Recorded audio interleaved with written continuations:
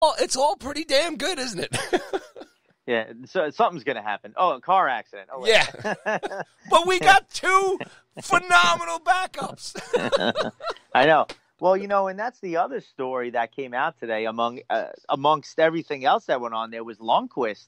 Um, he had a, he had some statements today about you know you know over the summer I'll have to talk to management to see if I'm. well, that's I'm, obvious, man. That's okay. If I'm need, I'm just saying that's another big storyline that came out of today beyond the, the accident and, and the signings and, and the and the Skjei trade was Lundqvist pretty much saying, yeah, I'm going to sit down with management in the off season and see if uh, you know I'm still needed here, and if not, you know he he may be heading off, uh, whether it's a buyout or or they can work out a trade or you know whatever it is. I thought that was some huge news today. All right. Well, Um, okay, Kevin, while we're on that, let's just look at this perspective. Okay, so Hank didn't get traded. He didn't go anywhere, right? He has that interview today. does, does it make it at least easier now for the fan base, either whether the lovers or the haters, or whatever the hell how you want to look at the uh, Hank situation here? He didn't go. I'll, I'll talk from my perspective. I'm glad he didn't go.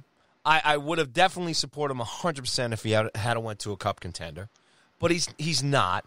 And and let's just take uh, Shesty's injury aside. Let's say Shesty is starting tomorrow night. He's still in the game and everything, and they're all still here one way or the other.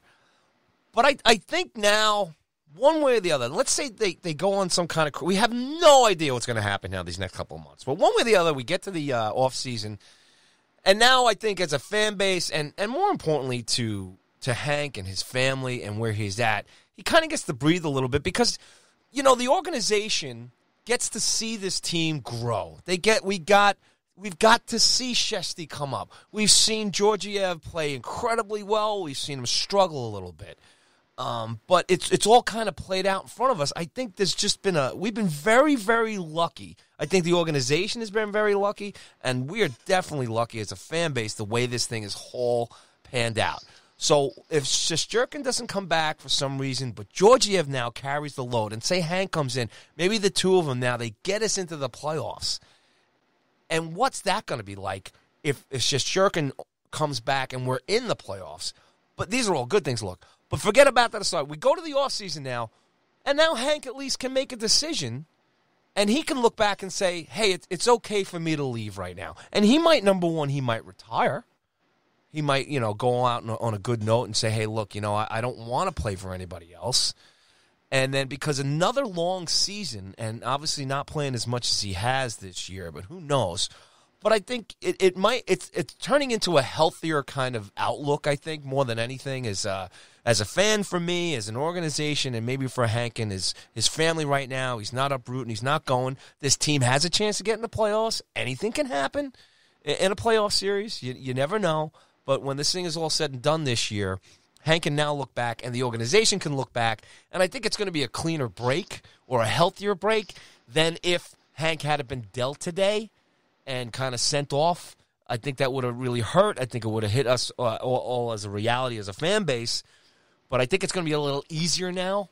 And I don't know if we should be maybe selfish to the fact that hey, you know, as far as our emotions and and all of us who love Hank and everything he's did for us, at least now we can almost kind of almost see him ride into the sunset uh, in the off season if he does go uh, next year one way or the other, instead of him having to be dealt in the, in the in the you know today and then run off to some organization and we would have been like, oh man, this sucks, but we got to move forward. Just love to get your take on that now. So you're saying you're happy Shesterkin got into a car accident? Is that that's No, I, I. I look. I'll roll the tape back. I said, put Shesterkin's injury aside. I said. I, I can't put it said, let's say he was starting tomorrow night. Hank is still here. Now, shut up and answer my question. Well, I, I actually I, I think it does make a difference to be honest, because if if Shesterkin doesn't get into a car accident and is around and and Georgiev is the backup, you know, I don't think you see Lundqvist for the rest of the season. I, I don't think he play, and I, I think it is a bad uh, sort of end to his his career here, where where they're having that discussion after him not playing, you know, since January. So you know, I think now it, it's it's interesting that he's going to be in the mix, you know, for the next couple of weeks in these huge games I mean, you could see Quinn go and now lean on Lundqvist. I, you know, the last two shows, I, I was begging for fans to give me a reason why Lundqvist should be playing because there weren't any. Now you almost have to find me a reason why he shouldn't be playing.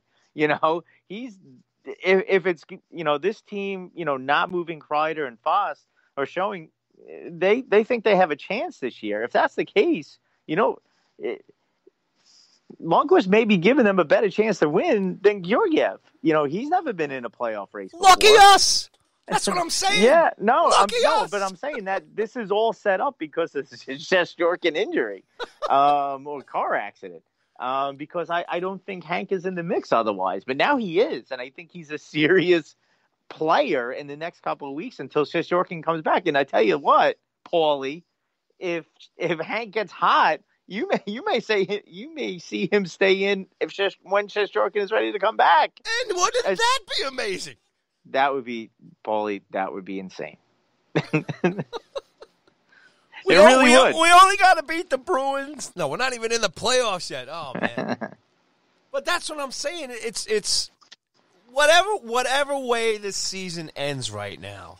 As far as Ha- I mean, I've got Hank written down on my notepad here in big letters, and right underneath that is Georgiev, and and just sitting the fact that we have these two guys, and then on on the bottom of my paper here, I've got Shesterkin nine one and zero.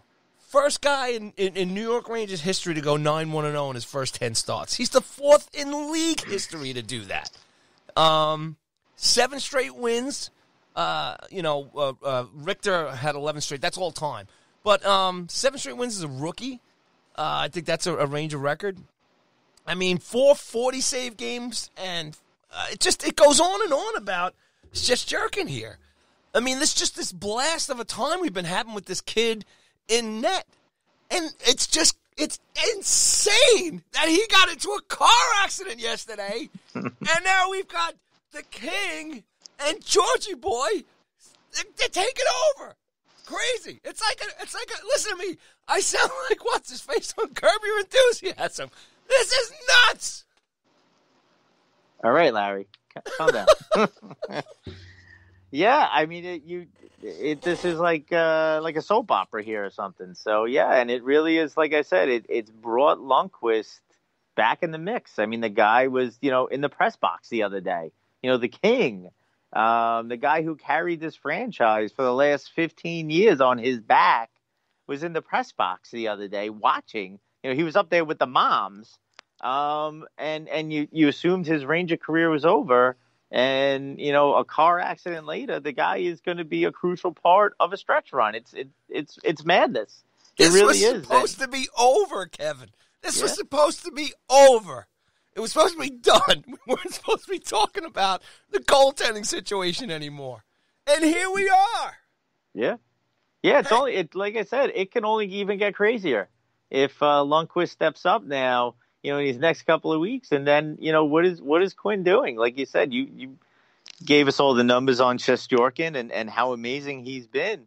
Um, do you just throw him in the middle of a stretch run um, after not playing for three weeks or however long he's going to be out? While say Lundqvist the somehow catches fire, um, you know that that would be nuts, absolutely insane. The, the, I I don't even know where the fan base would fall on something like that because uh, you know there's so much love for both players, uh, both goaltenders. That that would I I, I don't envy uh, Quinn if that is the case. I mean, look, I hope it is because that means the Rangers are in a very good situation in, in three weeks. But wow, craziness. All right, so here's the scene.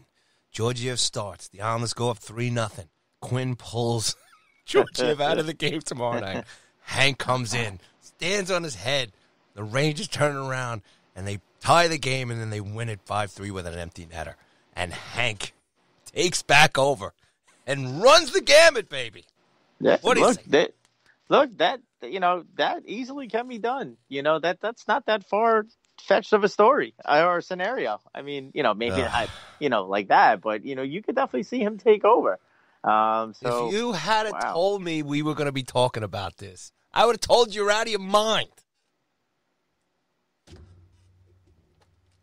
crazy. It's crazy. Good night, Kev. I've had enough. All right. So here's the deal.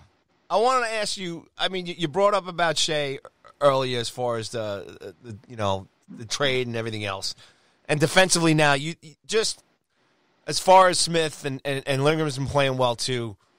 You you just think this is going to be a better mix? I mean, obviously Brady wasn't a big fan favorite. I mean, he was. I mean, there was a lot of love going out to him today, which was great. Um, but you, you just kind of feel this is going to the mechanics of the defensive squad now are going to work a little bit better.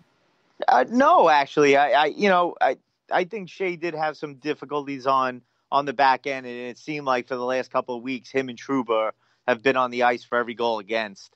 So I, I, I don't think the two of them had been playing that well.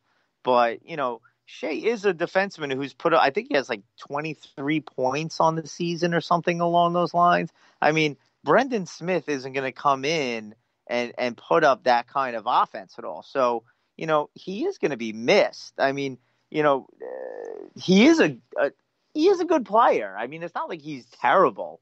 Um, and, and, you know, he's better than Brendan Smith.